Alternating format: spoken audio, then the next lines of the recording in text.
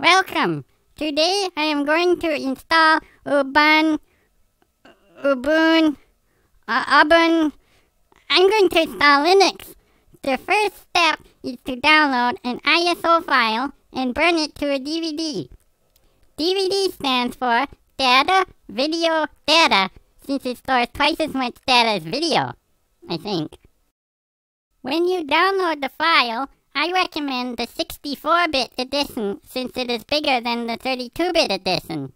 The download might take a while, so I recommend going on a vacation in the meantime.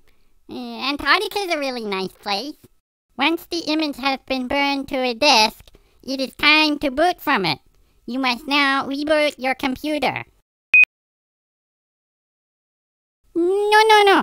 I think we need to change the boot order.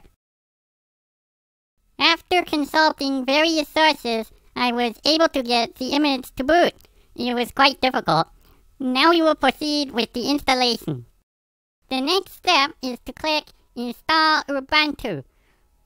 When the next page appears, simply click on Continue, unless you want to play MP3s. Then click here first. After that, it will ask you how you want to install. Uh, I never worry about backups, so I recommend that you leave this one the way it is. There was a message asking if you really want to erase everything.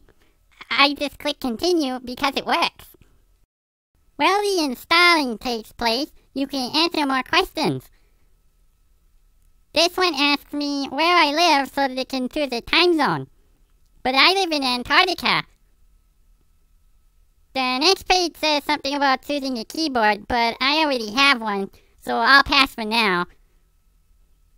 Then it asks me for my name, and I get to choose a password. Alright, we're all done now, and all we need to do is restart the computer. I don't know what this is, but it goes away after a few seconds.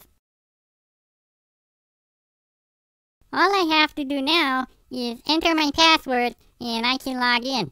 Once I log in, I can click buttons on the left to start applications. That concludes my video. Thank you for watching.